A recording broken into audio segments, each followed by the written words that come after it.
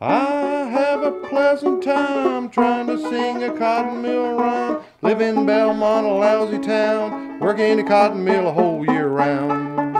Got a cotton mill blues, got a cotton mill blues, got a cotton mill blues on my mind.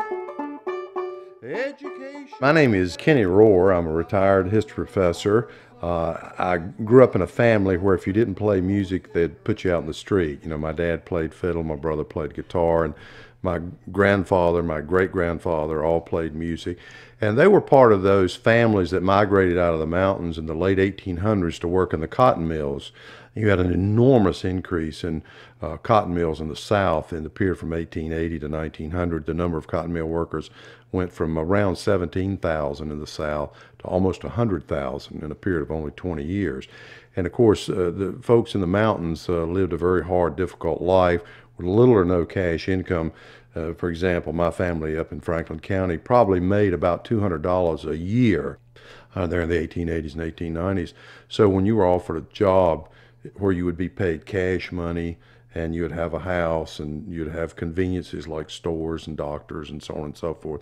It was a great magnet. And of course, a lot of the folks who moved out of the mountains were illiterate. Uh, and they worked for very low wages. Now, the mills took on kind of a paternalistic attitude toward these people they recruited out of the hill country.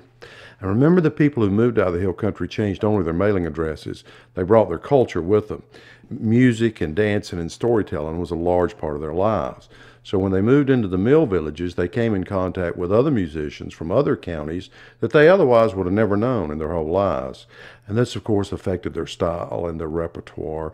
And the mill companies encouraged this development by bringing in music teachers, particularly from foreign countries. They had guys from Italy and from Norway and from Germany who came in and taught the children of the mill workers. And so they ended up learning tunes that they wouldn't have otherwise learned, uh, more Tin Pan Alley commercial type music. But they learned to play it on their native instruments, banjos and fiddles and guitars and so on and so forth.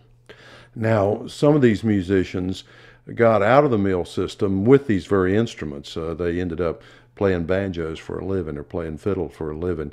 And they would play for square dances. And very often on Friday or Saturday night, uh, the mill workers would gather in one of the houses, one of the mill houses. They'd move all the furniture out of the front rooms. Uh, they'd put uh, something down on the floor, something like cornmeal, uh, to give traction, and the workers would all dance you know, in the front of the mill house, uh, and they'd play, I guess you could call it millbilly music. You know, they would play uh, music that came out of the hills of Franklin County, Patrick County, Floyd County, uh, but they they would all uh, dance, and it was almost like a way to let off the tension and the you know hard work that they had put in uh, during the week.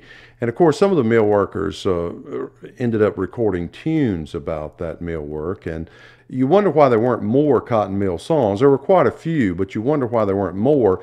But many of these songs, of course, were critical of the mill work and the system they were in. And I suspect you didn't want to record too many songs that the boss man might hear.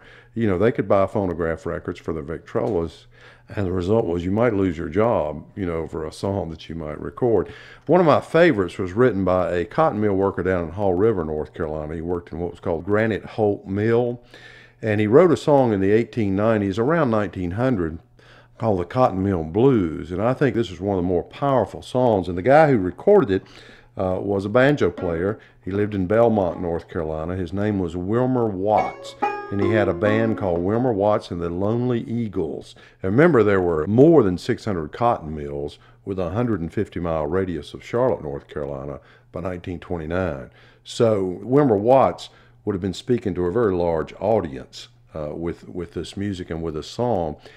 One of the reasons I love the old time music is because it was bona fide. Those people knew what they were talking about. They walked the walk, talked the talk, they lived the life. Got the cotton mill blues, got a cotton mill blues, got a cotton mill blues.